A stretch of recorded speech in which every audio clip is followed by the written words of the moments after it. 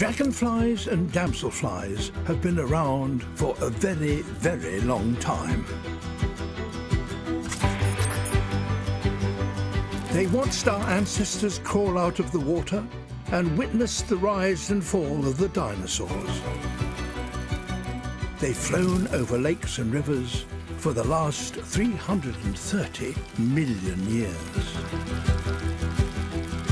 What is the secret of their extraordinary success?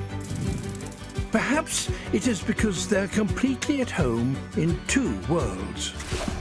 Below the surface, their larvae are deadly hunters.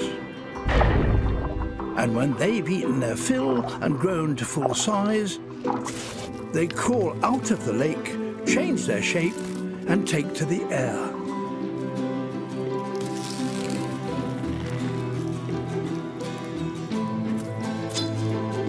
But that's only part of this story. The real reason for their long reign over planet Earth can be found in their daily lives, in behavior as complex as that of many birds and mammals, yet normally unseen. So let's spend a summer by this particular lake and watch closely. The little creatures really do have the biggest stories to tell in the world of dragons and damsels.